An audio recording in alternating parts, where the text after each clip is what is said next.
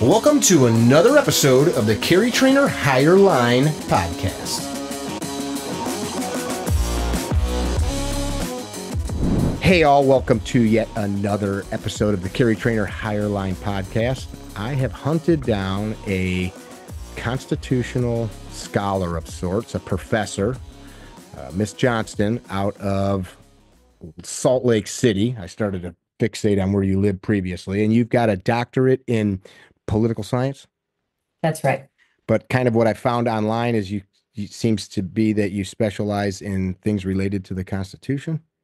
Yeah. American political right. thought constitutionalism. Yeah. Say that one more time. That was a big mouthful of stuff. Oh, uh, American political thought and constitutionalism. Put that into like a paragraph for me. Right. So I study uh, what is uniquely American in political philosophy, uh, the founding era and its ideas, and uh, with a particular emphasis on the U.S. Constitution and how to interpret it. Hmm. That's so that that can be probably a point to argue all kinds of things. The courts can't agree on stuff. Uh, the two sides of the aisle in Congress can't agree on stuff. Why is it not so cut and dry and black and white when it's on the paper? Oh, because the Constitution is actually very vaguely written and intentionally so. So it's uh, there are so many things that are actually meant to be debated over that uh, there's no real clear meaning on. There are some things that are very, very clear. And then there are some things, for example, uh, later edition, when you get the Bill of Rights, you have uh, the, the two component clauses of freedom of religion. How do you interpret those? Well, so much of it has to be interpreted culturally and in the moment. They didn't like lay out an interpretation for you. It's like a sentence to uh, to govern so much of American political life. So uh, we're supposed to fight over it. That's politics. Hmm. I've always always told that politics was like the theater of government. Is so to a PhD professor, what's up? What is politics? I guess let's let's start there. Ooh, I think it's the way we argue over how to live together. I like hmm. politics because it's politics or, or you can kill each other. So I like politics as a way to decide how we're going to live together. I've got so many questions. I before I even dig into them, and I, I I think that's probably the best answer I've ever heard. I like that. It's completely different than my interpretation of the word politics, having worked in party politics. Like I see it from like a business standpoint. You know, like the nuts and bolts and the mechanisms of how parties wrangle people together and stack a like the the bench. I've heard people say like a baseball team like minor leagues you know and bringing them up to get them into federal offices and stuff. So like i see that mechanism in my head. I actually don't like it. I think it's a, a crummy way of doing things but that's my two cents. What would make a person so you've got what 20 something years of education uh, it- from grade school on to get a, get to a phd why go down this this narrow path why not be a medical doctor or a engineer or a scientist now and i have no issue i'm just wondering what would get, make you so passionate about it Yeah, so I can actually give you the moment. It was uh, Sarah Palin's address at the 2008 Republican National Convention. I had uh, I had never seen I guess I'd never seen a woman in politics before. She came on in like a I think it was like a red suit. She had a joke about a uh, what is it a pit bull with lipstick on or something like that, and I was really just uh, just taken. And then in the mornings, my dad would listen to you know talk radio or this or that, and we'd talk about things. And like uh, rush limbaugh or something yeah, or Glenn Beck or or whatever. And uh, over the years, my my views have changed, but it all uh, it all comes back to Sarah Palin in 2008. I think I was in fifth or sixth grade or something, and just uh, I just knew from that moment on there was nothing else I wanted to study. So, as a 12 year old, 10 year old, you saw this lady, Alaska's governor at the time, and thought, this is cool. Politics Yes. is cool. Yeah, yeah. And then I created uh, in my my childhood bedroom, I had a, a wall of of presidents that I just like printed off all the pictures and taped them on the wall next to my bed. And then as I learned more and disliked some of them, I'd like tear them down until I had Don't just take the this the wrong way, but you were a dork. Okay. So my little brother Steven, my parents had 11 kids, can to this day name every president in order with their um, vice president. And I know when he was younger, he could name like Secretary of States and all that stuff. He had memorized oh. all that stuff. Yeah.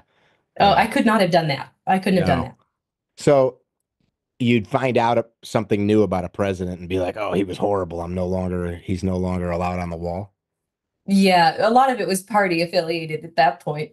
And so I'd tear them down until I just had the presidents that I liked, and then I'd add some modern politicians that I liked, and and it worked out because I had uh, parents who had very set political views, but who let me think whatever I wanted and explore ideas. And and uh, I think I've always been trying to understand politics, trying to understand what what is this thing we're doing, what is the truth of it, of it, if there is any truth to it. I've just been uh, interested in that puzzle my entire life. You've been at it a while. So I'm a martial artist. So I, you would be considered a black belt. Like you're a black belt in political science, right? You spent all these years learning this thing. So now people come to you and you teach them. And usually in martial arts, when somebody gets a black belt, they will say, Now I realize I don't know anything. Like I've learned enough to realize that there's so much I don't know. Do you feel that way at all? Oh, absolutely. I tell my husband all the time that with every passing year, I feel more confused and Mm. less certain of my views, less convinced. I uh, I guess I've been searching for some kind of clarity or or concrete opinion, and I just keep slipping further away from it. Uh, let's let me dig into that. So on what? Like a particular topic or are you trying to create this like global view of America in like the framework of our government in your head? Like what is this thing that you're trying to wrap your head around? Well, I, I'm not sure we can really separate politics from everything else that we think about. I think uh, we have universal worldviews, and everything kind of fits into it. Okay. And as more information comes in, the component parts have to change, right? The solar system gets moved around a little bit. Um, so it's certainly about policy issues, certainly about how to understand the Constitution, how to understand the founding, but also what society should look like today, what I want from politics today. I uh, it's exactly what, as you said, I am less convinced than I have ever been that I am right. Give me an argument. Start with something. What are you trying to be right on? I want to understand. So you you teach this stuff, right? Yeah. So yeah. like, well, okay. So here's an example. Here's an example that I've been wrestling with. well, I'll give you two examples. One, how do you understand the American political project, especially in light of some of the really painful compromises that were made regarding slavery at the founding? Mm. So, how do I view the founding? Was it this kind of city on a hill, lightning in the bottle moment? Was it doomed from the beginning, a, a project that was never about liberty and only about supremacy, blah, blah, blah? And uh, I think my view on that has just gotten more uh, nuanced. Another way, how do I interpret the US Constitution? How much should it govern affairs today? Part of that is how much can you actually interpret this document that was written, you know, 200 plus years ago and uh, is often very uh, vague about what it wants. But also, we need some common basis in which to govern political life. And also, what role does a written constitution have in what is essentially a people's government? It is the people's constitution, but how do you preserve reverence for that constitution while also allowing for change? These are the kind of things that I, I think I'm less certain on uh, than I was before. I think that maybe you're my sister from another mother. I cut the grass and I think about these things. I uh I told you before we began recording, I have visited not all, but if you can think of a significantly or historically significant site in our founding, I probably have been there. Um, and it's not like, like I'm checking boxes. I want to go see the places. Like like the first time I walked through the portico at um, uh, Fort Ticonderoga and read the plaque that said through this hall past, and then it's got the names of you know Washington and Knox and these men. You're like, holy crap! Like I'm actually standing there. It, it's it's such an interesting thing that w- what you just talked about. I, I'll pose a question or maybe a thought. The point that I've always come back to is something the founders talked about often, which was civic virtue. This idea of of virtue is that is that does that play a role or did I've heard some people say they only said that like like a like a corrupt CEO of a company talks about um, being uh, ecologically uh, uh, uh, efficient in in like living a certain way because it's good for the planet, and then that CEO jumps on an airplane and zips all over the world to do horrible things, and uh, you know what I'm saying? Yeah. No. And I think the answer to that is no. Um, n- no, it, it wasn't, uh, or I should say, yes, they were really serious about it. I look at John Adams, who's my very favorite founding father, by the way. He's very serious about civic virtue, and it's something that really haunts me. Is this idea of uh, uh, liberty and virtue? These are flip sides of the same coin. They they need each other. You know, it, you're not. Uh, uh, virtue without agency or liberty isn't truly virtuous. It's just you're being forced, you're doing it because there's a gun to your head. And liberty without uh, virtue is anarchy. You need these two things. And they were very clear about this. You can have a constitutional system, but if you don't have a people capable of self government, you will require a bigger, uh, more dictatorial government to be your parent because you are incapable of governing yourself. So civic virtue is uh, it's an ancient concept. All the pol- political philosophers have understood how important this is and how very difficult it is to inculcate it, particularly over generations. Why don't we talk about it anymore? Why is it Oh. not at a at a, a grade school level? I mean, what does it even mean in the t- in the time eh, you brought up? It's an ancient thought. The Romans talked about it. The Greeks talked about it. The philosophers like Plato and all of all of that ilk, and then modern day, not modern, but modern at the time of the founding, Locke and those men spoke of these things. What happened? Where was there a a change? I think uh, a- an ugly side of liberalism is what happened to that. Liberalism is hyper focused on rights, which is important. That's an important component of it. But at some point, the uh, virtue part, the Republican part, and I mean small r Republican, not the party, kind of Mhm. disappeared from political discourse. And we became a country hyper obsessed with rights and freedoms and understanding of happiness as freedom. Whereas I think in the founding generation, it was understood that the purpose of freedom was to be uh, happy, which was understood as moral excellence. So the purpose of freedom is moral excellence. And uh, I somewhere that got lost. I don't know, 1960s. I don't know when this got lost. But we don't talk about it anymore. And, and we certainly have lost a lot of those civic institutions because I'm not convinced you can do this via government. A lot of these civic, institu- civic institutions, your churches, your families, Hmm. your anywhere else, your bowling leagues, I don't care. Boy Scouts, all that stuff. Boy Scouts, where civic virtue is is taught. That's gone. And now we're deeply atomized and rights focused. You earlier brought up this juxtaposition that you've had in your head between the founders. Uh, in the this is where this goes every time to me. Uh, I can sit and write volumes as as these guys did on virtue, but then I can own a person at the same time. Mm.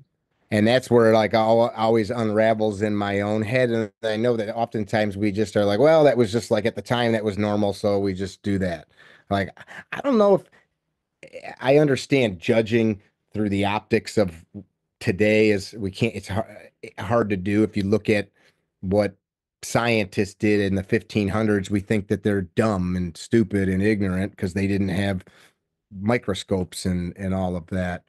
But I don't. Was there ever a time in history that people didn't think it was bad to subjugate a people and make them do work for Oh, yeah. free? And That's the Yeah. vast majority of human history. It was understood as completely fine because there was no concept of universal rights or universal peoplehood. And by the way, this is one reason I love John Adams, is because he he is a child of the Enlightenment, and uh, and and didn't have that same kind of uh, split in his thought between civic virtue and freedom and liberal ideas and owning people. Benjamin Franklin is another example of this. So you have your Thomas Jeffersons, but you also have your John Adams, who, by the way, is just fundamentally important to the construction of the US Constitution. And then there's George Washington's, who had very nuanced understandings of slavery, and uh, many of his decisions were kind of caged in by by uh, laws in the state of Virginia, but who wouldn't have said it was moral. So this is uh, it's it's nuanced, but also, yeah, Thomas Jefferson. I'm happy to just say, go away, Thomas. really, you, so you as a, a scholar would just wipe away this founder? Well, I wouldn't wipe him away, but I do prefer to ignore him more and elevate people like John Adams more. Guess if we have to, who are we going to talk about here? Who is our like founding father? Okay, John Adams, or not John Adams, Thomas Jefferson. Yes, I get that he wrote the Declaration of Independence. He wasn't at the Constitutional Convention. It's one of the best things that ever happened to the document. He wasn't uh, a particularly uh, uh, good president in terms of consistency of thought. Uh, so I I acknowledge what he did, but if I want to talk about the founders, I'm going to talk about founders who I think matter more, like John Hmm. Adams and George Washington. I dig that. I dig that.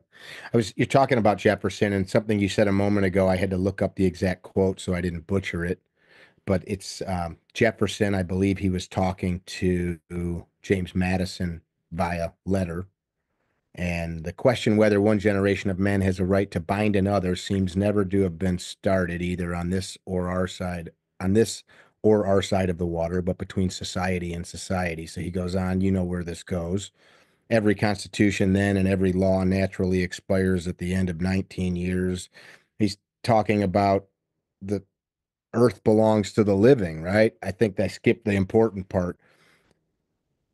Similar ground, it may be proved that no society can make a perpetual constitution or even a perpetual law, and the earth belongs always to the living generation. And I know he wrote on that stuff numerous times.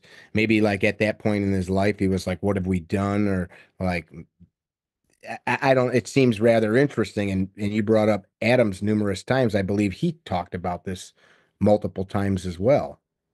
Well, one thing that Jefferson is talking about here is how difficult it is to amend the U.S. Constitution. He was quite grumpy about it when he uh, he's in France and he gets a copy, hears about it, and is like, "Why is this so difficult to amend? You know, the tree of liberty must be continually watered by the blood of patriots." Blah blah blah. Uh, and James Madison's basic response is, "Look, man, we've just had a decade of revolution.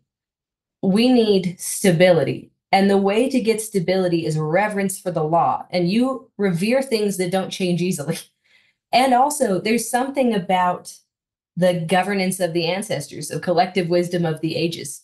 So there's uh, Jefferson.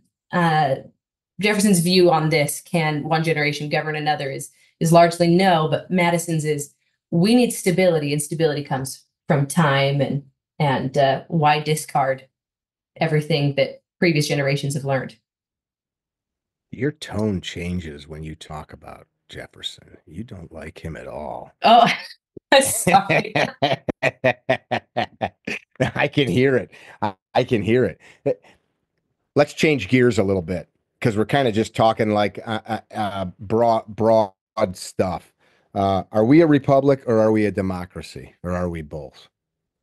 know I don't like this low level stuff. For, I know you. do. yeah, Why would yeah, you? I no, yeah, yeah, yeah, yeah. No, this isn't, and that's not a criticism of you. I just generally don't like this question because I think it's a bad faith effort to uh, Hmm. to say votes don't matter. I don't like that. So when we talk about a republic, we're talking about a representative democracy. So no, you don't go out and vote directly, but you vote for representatives who vote uh, who vote uh, on your behalf. We make decisions by majorities in this country. Period. A majority in the Senate, a majority in the House, a majority of electoral college votes to get the president. We make decisions by majorities, and that that's democracy. We're just a representative democracy. So people could say we're a democratic, we're a republic, we're a republic, we're a democracy. I don't care. We make decisions via majorities. We just do it via representative institutions.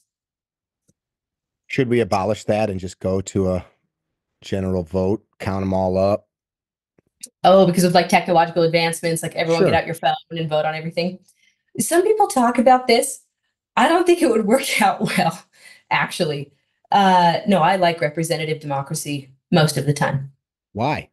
Like why why did they do it? Why did they create the electoral college? Why not just have all of the citizens go cast a piece of paper in their local town and add it up? Even then they could have done it because the population was so small.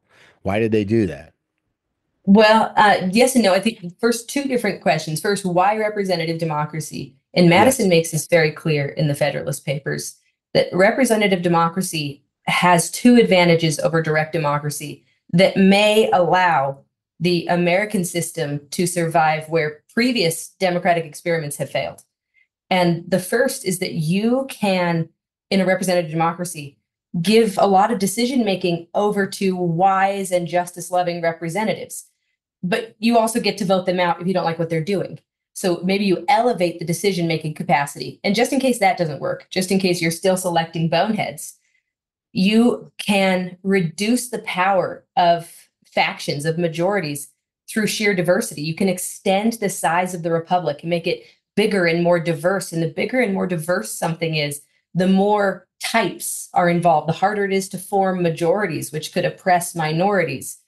Uh, this is another advantage of representative democracies. And of course, that's kind of negated by modern technology.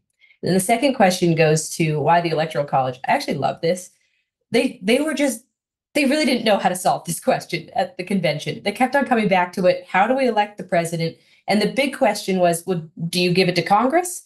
No, you can't let Congress elect the president because then you've completely violated separation of powers. They will control the president. Can't do Mhm. that. Mhm. Do you give it to a direct vote? James Wilson actually brought this up at the convention, and it was kind of like, ooh, uh, direct vote. Do we really trust the people to not just select the first demagogue who comes along? This seems like a bad idea. So the Electoral College was kind of a compromise position. It's actually fairly democratic for its for its time, though it never functioned as they thought it would because of the advent of political parties within just a couple of years of the uh, of the founding. So that's why the Electoral College. It was kind of a well, here we go. We'll try this. Do you think it still works today? Uh, I don't like the winner takes all system that uh, 48 states use. Each state gets to decide how it's going to allocate its electoral college votes. Um, 48 states have done it according to the winner takes all system. I much prefer the district system because it still maintains that state apparatus. The two Senate votes go to the statewide vote, but it also greatly decreases the chances of a split between the electoral college winner and the popular vote winner. So it feels more democratic and more like each vote matters, but is not direct national election and preserves a place for the states. And I, I actually think the states are important. I see constantly kind of like flippant comments made online by people that are very um, rabidly fixated on like a certain political viewpoint. For example, you stated uh, from time to time the tree of liberty must be watered with the blood of patriots. You know, like people that like kind of like circle around the firearm community, they love that one, or um, shall not be infringed. Right? Uh, you talked about how simplistic the uh, uh, Bill of Rights spells out this freedom of religion and doesn't like have a bunch of codified rules and regulations around it.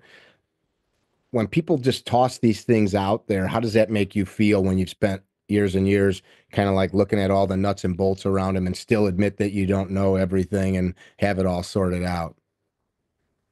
Oh dear. Um, Was that, I'm glad- that question fair? no, it makes sense. No, it makes a lot of sense. I'm just trying to pace my answer here.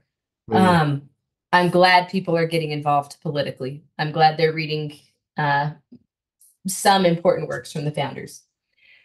I think uh, dealing in absolutes in politics is extremely dangerous. And Mhm. if your entire political ideology is framed by this, the tree of liberty must be watered by the blood of patriots thing, I think that is uh, shockingly naive.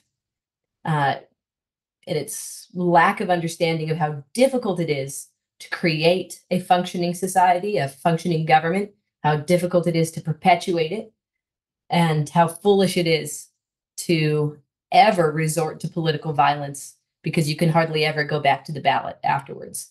So I uh, I have I really have no patience for the it might be time to take up arms thing. That uh, ballots over bullets always. I agree with you on that. It's it's um I Though think it's an always. easy it's a, not always. Well, I mean, there are cases of civil war. But anyways, continue. Sure, sure, sure. But but that's kind of the ideological difference between people. Well, I'm pushed to the wall. You don't know how it is for me. You don't know what I'm dealing with because of rules and regulations and vaccine mandates or whatever. People just fixate on a thing. And for some people, it's like, it's it, man. That's all I got. Like, I've gotten no more F's to give, and I'm going to that I mean, we're not seeing it. I think the January 6th thing, people kind of like thought that was going to turn into something like that. Go ahead. Well, yeah. At this point, I would invite people to read the entire Declaration of Independence, which includes a very important section about prudence, about practical wisdom, that it is very imprudent to just revolt and overthrow governments for the slightest thing. It has to be that it is so impossible to continue living the way that you are living that you would rather die and condemn your family potentially to death than to continue to live under this regime. That and basically that alone Justifies copy of it's outside of my reach. I was going to grab it. Yeah, well, I mean, there's a reason why they go through the trouble of listing 27 or something uh grievances ag- against uh King George. It's They it's didn't like just say we're pissed off, we're going to go to war. They're like all of these things, one after the other, after the other. And Right. then on top to of that, justify it. this. Yeah, yeah, you have to justify it because the odds are you're going to fail. Revolutions tend to fail. And even when they succeed, they just so rarely actually lead to a freer form of government than what you had before. Usually a revolution ends and you just have another dictatorship. So uh prudence people, prudence. I just watched this really well done documentary on uh, Argentina, starting from pre colonial time to present. And there's so many parallels that my neophyte brain made to America, but then so many not, like how many times that the military overthrew the government and the craziness, but the corruption and the way they handled their indigenous populations to expand and and uh, some of those things. But you like see like, okay, here is a perfect experiment in screwing up uh, a beautiful place with beautiful people by by greed and uh, lack of, I guess, maybe focus and and leadership.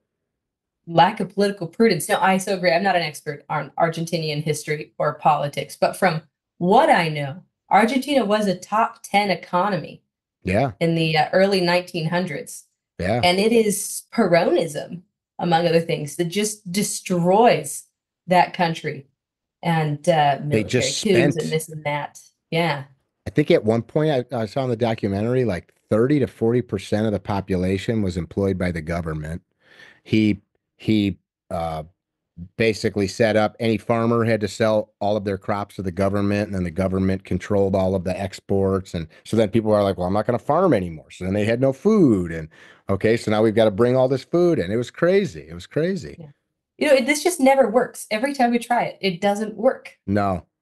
Buenos Aires, they they said, uh, I think believe believe it was called the Paris of South America. It was just so beautiful and still is, from what I could gather. I've never visited there, but just the you could just see as you watch the story unfold, like how is this possibly gonna go good? What are these people freaking thinking? Yeah, but I think there's something about the hopelessness involved and the militancy and the lack of political prudence and, and also the inequalities that led to those to those upheavals. But uh, yeah, I mean, Argentina has given us a lot. It's given us a great lesson of what not to do, and it's given us Lionel Messi, who's the greatest ever. So Mm. lots to thank them for. Yeah, you, yeah, I heard some tongue in cheekness there. No, no, he actually is the greatest ever. You think He's my so? favorite. Oh, Really? oh, I I, mean, am, some of the I'm stuff that he's saying- Some some of the things he said is are amazing, but we'll see what happens. Yeah, I'm I'm a wild Lionel Messi fan. So that, that's completely off topic. All right, I dig it. Something I deal with, I I guess I would say I combat it. We I'm an educator uh, in another space, and we talk about uh, this balance of rights and responsibilities that's used all the time in all kinds of places. So we teach people how to protect themselves with firearms. Misusing that can kill somebody, put you in jail, uh, ruin lives, and it seems like a lot of people have a and maybe myself at certain times have a very uh, romantic idea of our founders like these guys all like huddled up in in bars and they planned to dump tea in the harbor and then they got together and like planned this beautiful revolution and and and then they all agreed and got along and did this amazing stuff and they all hated King George and they all loved being able to do whatever you wanted to do and they all hated taxes and making your own whiskey and it's like man I, I don't know but talk about that a little bit Yeah, no, it was so chaotic. It wasn't uh, wasn't planned at all. A lot of it was accident. A lot of it is just chaos. They're constantly disagreeing with each other. There's very little consensus actually at any point during the founding uh, founding era, from you know 1776 all the way up until 87, when uh, we have the Constitutional Convention. They're just not agreeing on anything. So it, it is kind of a miracle, if I could use that word, that anything got done that they agreed to anything and found some kind of found some kind of stability. But you know you spoke about that in your space as a as a firearms instructor you talk about the need to balance rights and obligations. And i think it's really interesting that you're teaching these basic principles of basically social principles in a firearms training but we lack that discourse in the political environment and how dangerous that is. There's a uh, a book called the Book of Ob- or the Bill of Obligations, writ- I'm gonna write uh, by uh, Richard Haas, H A A S, I think, that I assigned to my students in my public service class, just as an attempt to. It's an easy, easy book, just as an attempt to push back against a fixation on rights and a reminder of the responsibilities that come with with rights and the responsibilities of citizenship I think it's an important corrective, and I love that it's happening in these small ways in your classes. Well, I appreciate hearing that. Thank you. It's it's strange how little of this is ever taught anymore, or ever. I don't rem- I don't remember ever in school being taught about the Federalist Papers or anti-Federalist Federalist Papers. Maybe there was maybe a, a, a, some cursory like in this paper they said this, but it was never a, let's read this or um, and I went to private Christian school, so it. Uh, it's boring for most people probably. It's about not it's not like a, a lovely topic. Uh it's not football or um i don't know making money. It, it's it's like you know old dried bones and old papers and things. It's not it's not sexy but it seems so strange now looking at like i don't recognize america. I lay in bed i was in bed the other night and I, I, sometimes i'm like i don't even know if i want to be here anymore. I don't mean alive but like like what the heck is even happening around me? I don't like recognize i'm watching friends fighting. I think we saw it all through covid. You know people drew these lines like you're either for this or you're against this. If you talk about anything uh, that doesn't follow this line you're a bad person you're the devil and it seems like the same thing now my brother was just here earlier and um, had shared something on facebook and he's he's a filmmaker. He um, he's thoughtful. He wouldn't uh, have put something on the internet that was like sensational or vulgar. And he was just commenting. He has a friend that's in North Carolina that was um, involved in delivering goods to help these people. And this guy shared a story of being stopped by some federal agency. So my brother shared that. People freaked out about it, and then Facebook took it down as like fake news. And it's like, well, that's really freaking scary that in this private space and it wasn't published in a newspaper. It was on a, I guess, private Facebook account that we have these organizations like stopping us and a family member and him, another family member and him got into it. That, that you know, you're sharing fake garbage news. And my brother's like, well, no, a guy I served with in the army was actually there. He told me, like, he sent me a video, like it wasn't made up. And I'm not even like talking about any of that mess going on there. I hope those people get it sorted, but just that we can't even talk about stuff. That was a mouthful. No, no, I know, I know what you're saying. Yeah, this this our, our inability to disagree or or even just to have meaningful conversations where there there may be differences of opinion. I I know so many people. In fact, I don't think I know a person who hasn't lost a friend or been alienated from a family member over the last couple of years by politics.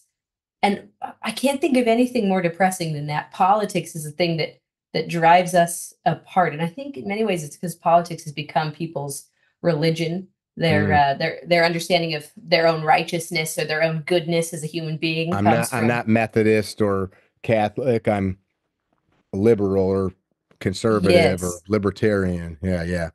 Right. And my my goodness as a person, my virtue is attached to my having these political views and defending them and and casting you off. And I yeah, I, I think it's uh it's sad. And I agree with you. Sometimes I look around and feel uh feel a little homeless. How do we fix that? Like I, I remember years ago, so my father was a minister and uh, very conservative family. So of course, people like Bill Clinton or Hillary Clinton were the devil when I was a child. I wish Bill Clinton was the president right now.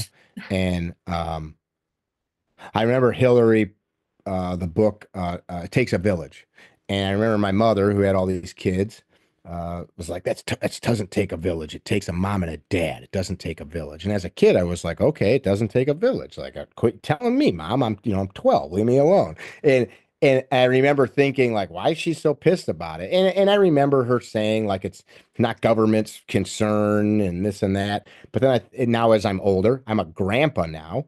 I hope I talk about this all the time. Like my lady was a um 22 year kindergarten teacher and and I think about who's teaching our kids or if my kid falls down in the street and breaks their face open on the sidewalk who is there going to come and help them? Or if there is some uh, not a medical emergency but two kids having a dust up on the playground what what adult is stopping them? Or who is teaching them how to behave uh, and be polite and put your stupid phone in your pocket and shut up. We're in a restaurant. Like who who are all these people that are affecting children? It's it's strange.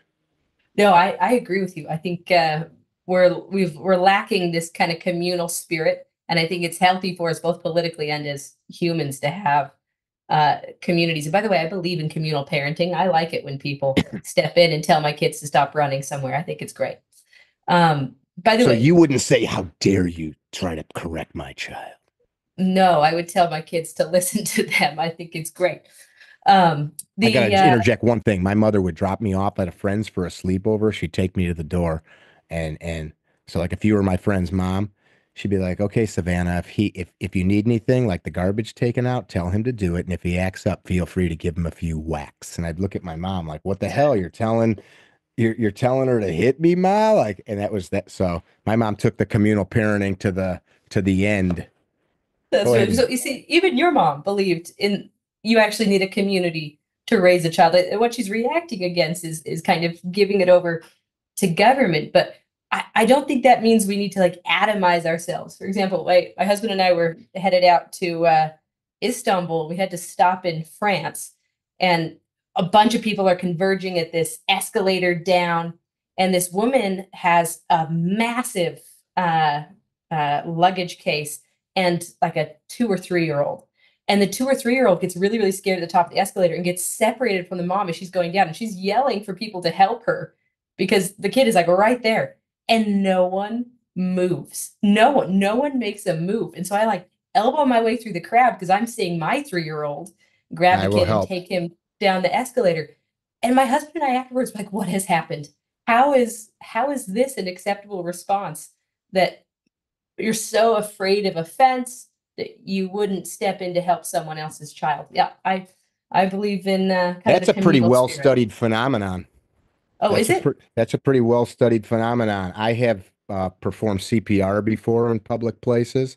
And one time I've told this story a few times, and it's not a pat on my back, but it was I looked up on the ground and there was like 40 people still holding their forks in a restaurant watching. And I'm telling somebody to call an ambulance. And I know the waitress at the restaurant that's running the place. And I finally I yelled at her like snap. And it wasn't that they were like in fright. It's just it's part of it's I don't want to get involved. I don't want to get my clothes messy. I don't want to touch some old person. You know, it's all these things. I don't want to I don't want to do something that could get me legally in trouble.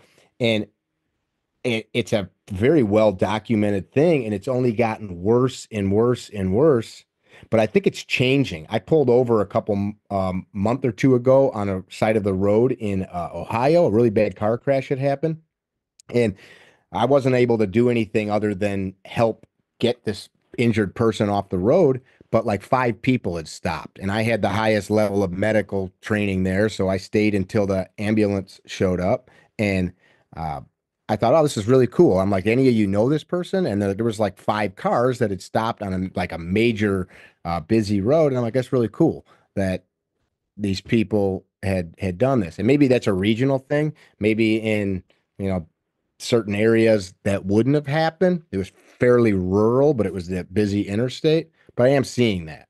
That's all I was going to say. No, but this brings back up the the idea of civic virtue.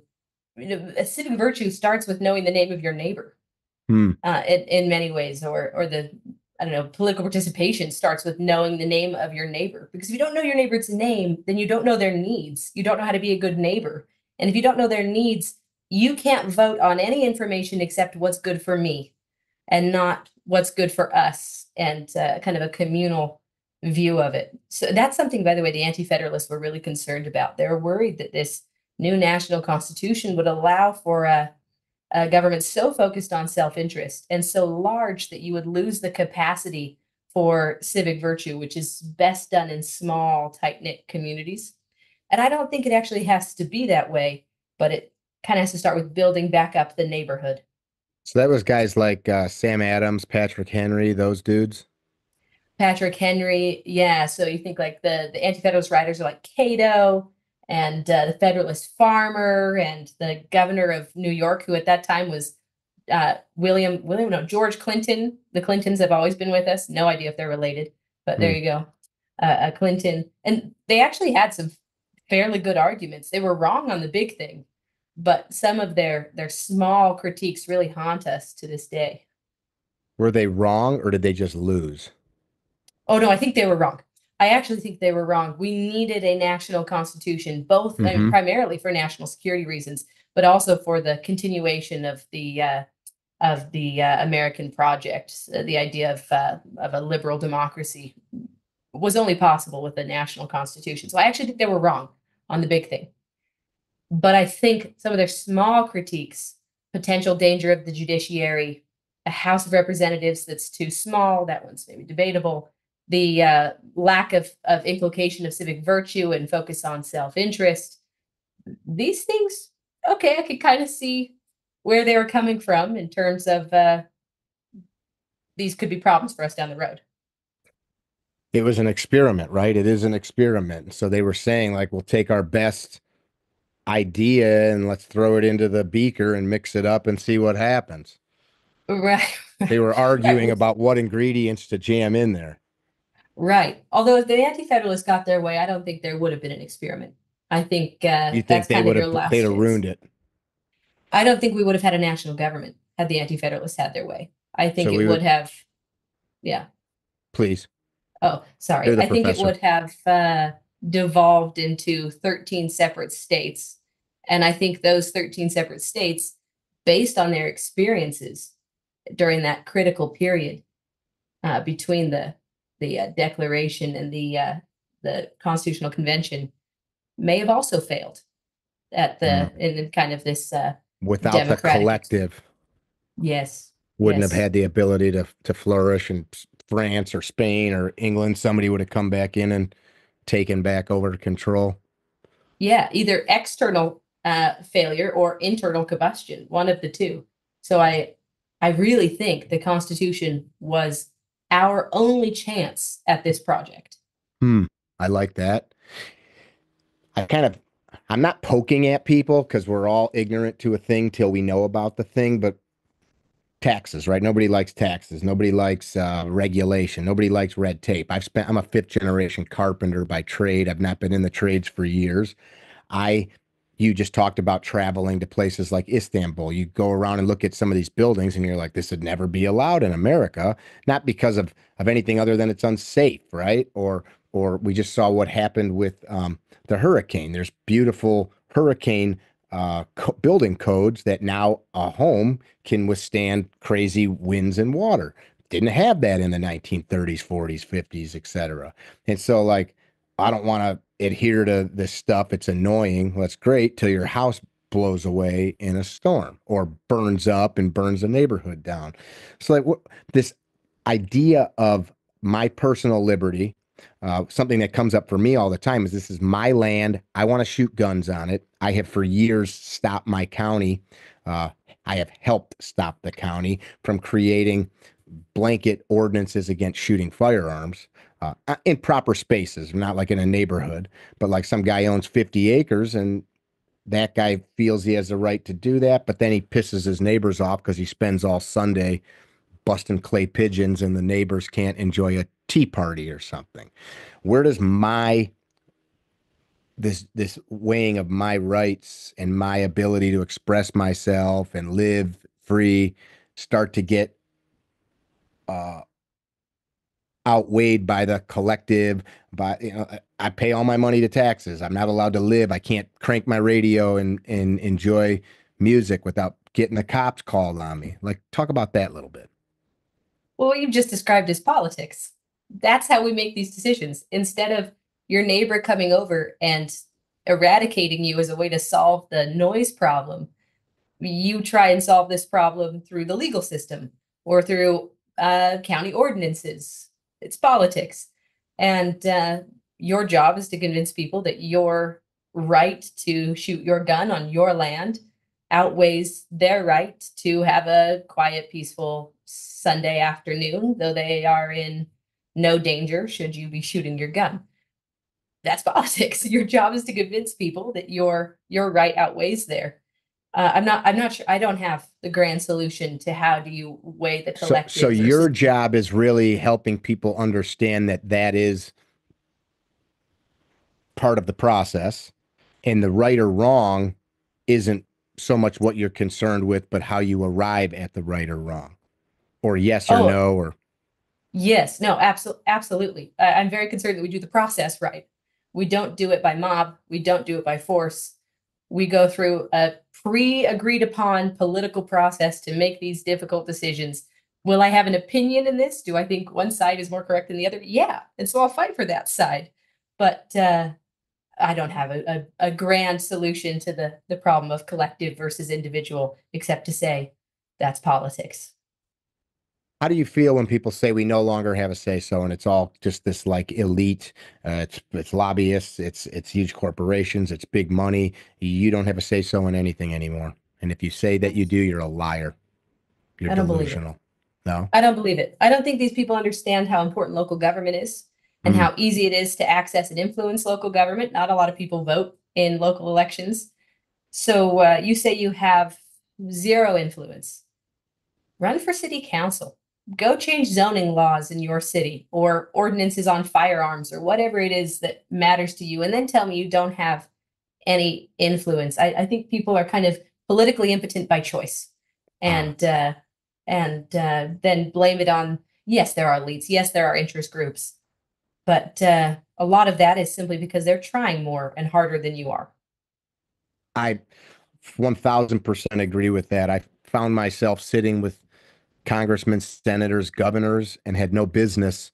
I remember thinking like, like the song says, like, how did I get here? And like, oh, I just thrust myself into it. And there's not enough people doing things. And so in most jobs, like if you volunteer, somebody's going to put you to work. And next thing you know, you're, you're like doing it. So I 100% agree with that. Have you been involved in the political spectrum at all? In a very, very limited capacity. So I've worked on presidential campaigns just as a just as like a volunteer, like send me to a state and I'll knock on doors for you kind of a thing. That's what I did homecoming weekend of my senior year. Uh, for example. But uh, no, I've been moving so frequently that I haven't been able to establish residency anywhere Hmm. uh, to uh, participate in kind of a, an elected capacity. But you know, in the future, I'm interested in like city council. I'm very interested in that. I think local government is really cool. You can make a lot of uh, have a lot of impact in ways people don't realize. So maybe someday. But uh, by the way, one thing you said about uh, people who just put themselves out there find that they can have more of an impact and are more used than they realize. When people complain about political outcomes and then tell me they didn't vote, mm-mm. no, no. I, I really believe this. Complaining about politics is the sacred right of those who voted. If you went out and did the one thing you are guaranteed the right to do, get out and vote, and it didn't go go your way, or you voted and the majority wanted this thing and then the state legislature overturned it, then you complain on Facebook all you want. Even if I disagree with you, I'll say hurrah for you. But if you can't even bother to get out your door and vote, but you can write a eight paragraph essay on Facebook about how government is broken, just do the basics first, man, and then I'll read your eight paragraph essay. I'm not going to waste my time, professor, because of voter fraud. My vote doesn't count. That's another thing that I find really annoying. Every study has shown that voter fraud is vanishingly rare, though it occurs occasionally in Who's paying for those studies? The people that make the machines? Because that's what everybody says. Yeah. No, everything from political scientists to independent uh, uh, newspapers to, yes, audits by those who make the, the machines to secretaries of states, like the Secretary of State of Georgia or the Lieutenant Governor of the state of Utah, who run deep investigations into the, the uh, security of state and local elections. If you are so unwilling to believe in anything but corruption, then that's what you're going to believe. Hmm. But uh, the evidence is just not with you on that. But I, I don't think I can change your mind. I'm not speaking to you. I agree with you. I have sat through a recount, a countywide recount of a very large populated county of a very tight campaign that I was helping manage. It came down to like a dozen votes out of several hundred thousand. So the loser called a recount. And so I sat and I watched every, I watched the chain of custody of the ballots coming in and out of safes. And I, the thing that was that I was impressed with is like, man, some fifteen dollar an hour person's got to commit felonies, like, like, and it's not, and it's got to be in that race. It probably would have been relatively easy, not not relatively, because you still have to have it attached to a human and all that. But fi- 15, 20 votes, it's not millions or thousands of votes. Somebody could have probably moved the needle. What was funny is once they recounted it, we gained like six more. And it was not that they they were just um not properly counted mail-in ballots, but after watching that and just seeing like the people, nice local people that are working a job for county government for a county clerk, like I think I heard you talk about it. That's why I brought it up. Does it happen? Yes, but is it like a system-wide thing? Probably not. Yeah, probably not. The the uh thing that strikes me is I think increasingly there's a, a segment who will not be convinced by anything that is not exactly the world as they view it or force. Those are the two things they will believe. And nothing in between. That there's truly nothing you could do to fully convince them that they lost. I think that's really scary. So do you believe that the last presidential election, uh, not the one coming up, but the one that Biden won, you believe that he won? Oh, yes. I believe Biden won. He won in the electoral college and he won in the direct popular vote. And there has been no verified evidence to the contrary. So yes, I think Biden won. I don't disagree with you, but the amount of people that I love and respect that have told me opposite to that is um it's staggering and to the point that you just made, you can offer information and I don't there's a million things I don't know anything about. Uh and even this topic I'm I'm still only know a little bit on, but it's like show me some data and then show me the people that are doing this stuff. And I think it comes a lot of times people just think, well, it's these machines. These machines are just moving zeros and ones and then nobody sees it and it's just this magical like matrix thing where and I laugh about it because you don't have to be a detective. If you look at what's going on right now in the in the presidential race, if they could do that, nobody'd be running around just spending gazillions of dollars to win. They just run a little campaign, do a few little stump speeches, and then they'd move the the needle into it, right? Yeah, no, I agree with you. I completely agree with you. I think uh, uh, I, I don't know how we come back from election denial. I, I, feel like it's a trend. You see it here in the state of Utah, for example. There's a governor, uh, governor's race is kind of being upheaved right now by a, a candidate from the primaries who refuses to concede to the uh, current governor, Governor Cox. This kind of election nihilism is is spreading, and the thing that worries me is I don't know how you get back to it. I don't know how you regain trust in the political system. Trust in the system. Yeah, once you've already broken all of these these norms that you concede and et cetera, et cetera. I I uh, I don't know how you put that cat back in the bag. On the flip side, though, my brother that was with me today, we talked a little bit. I don't watch a lot of current events, but we were talking about this um, CEO of uh, Abercrombie and Fitch that just got arrested. You know, crazy stuff. And my today's the uh, for those of you listening, the 23rd of October 2024, which by the way is the 41st year since the bombing of the Marine Corps barracks. Uh, go read about that. But anyway, oh. um, yeah, today's the anniversary of that. My friend wrote a really excellent book on it. Jack Carr wrote an excellent book on that, who actually lives in your home state. Besides the point, my bro is saying you keep seeing all of like, like these people that were able to hide by money and power and connections. Like I am friends with my sheriff, my state's attorney. I've got a friend that uh, was a a local lawyer. Now he's a judge. Uh, his wife is going to be our next elected state's attorney. The current state's attorney is a, a good buddy of mine. I see five times a week. I can't get anything from any of them. Not that I would, but like if I got a traffic ticket, I wouldn't call one of them because not, not only not take right and wrong out of the equation, the amount of um, oversight and and uh, like it would just it's not worth it.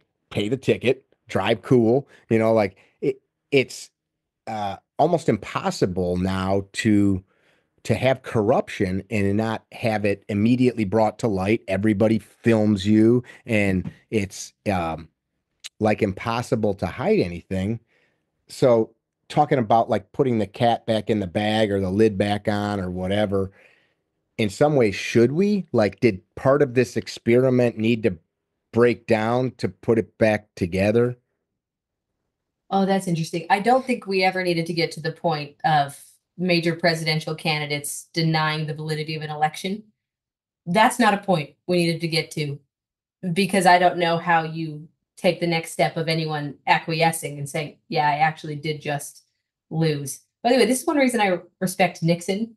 1960, there's some potentially valid claims that he actually won that election based on how mm-hmm. you count uh, Democratic votes in uh, in the South, which were split, and uh, he refused to challenge the election because again, you can't play around with people's trust in the election system. You can't do that because it's so hard to build back up. And if you can't make decisions by ballots, you've got to go to bullets. So I, I respect that he said, no, even if there's a legitimate case there, I don't have enough evidence of it. And I'm not going to undermine this most sacred process, which is how do we make decisions together? Mm, that's heavy duty. I read something that you wrote and you quoted a uh, German clergy, I believe, who said, Silence in the face of evil is still evil. Not to speak is to speak, and not to act is to act. That was how you closed out a piece that you had written a few years back.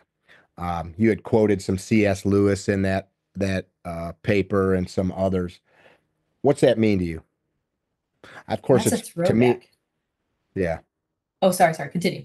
No, I, I mean it's a it's the face value. I I think it's pretty. This guy was talking about Nazi Germany. Uh, he's talking about all this crazy stuff going on. Probably seeing people keep their mouth shut to not end up squashed by the bug of this craziness that was happening at the time. So I think it's easy.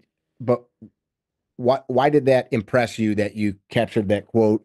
And and how are you applying that in your life? How through your teachings? Like I'm sure you get tons of pushback knowing where you live, knowing the type of family you come from, like your comments about the election being authentic. I'm sure there's tons of people around you that are like, what the heck? No, that's true. You're Um, institutionalized. You've bought into the. And you know what? I actually am an institutionalist. I'll take that happily. I'm a political institutionalist. Um, uh, that is such a throwback uh, piece for me. Was it the Orthodox or was it the Politics That of Salvation? The Orthodox one, I believe. It's the Orthodox one. Yeah, so I I uh, really related to that in, in kind of a, a religious sense uh, to what uh, Bonhoeffer, I don't know if that's how you say his name, Dietrich Bonhoeffer was was saying. How do I apply that in my life? Well, just an example. Yesterday, I put up an Instagram post. This is a silly way of democ- demonstrating this, by the way, but here's here you go about uh, voter fraud because I felt like I just needed to use my incredibly small little voice to say, please accept election results. Just uh, please accept election results. Let's have a peaceful transfer of power, or this whole system breaks down. And you know what? People are very unhappy with me in the comments. And it's such a small thing, it doesn't matter in the grand scale, right? I, I have such a small little account, but it's just, uh, I, I want to tell you something to- on that. oh, yes. I didn't know who you were until about a week ago. Um, what you do does matter. A friend of mine, a retired U.S. Army colonel, a very lovely human, a very influential guy, a guy that's still very connected uh, through uh, what I guess would be the military-industrial complex through purchasing and design and that that stuff.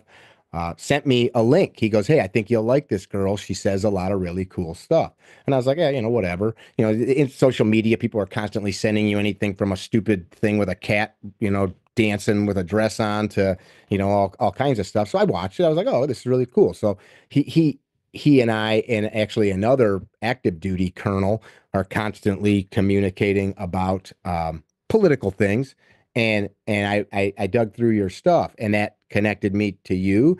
And now 50 something thousand people will download and listen to you and so uh it it does matter and if they don't agree with you that's fine but like if if we don't tell people the truth and I don't always have the truth and you don't always have the truth that then what like should we just all just toe the line of elections are bullshit and there's no there's there's nothing that's absolute anymore Yeah, no, I think there is something that that same essay talked about uh, courage as like the chief virtue. I think that's that's the C.S. Lewis cs lewis quote.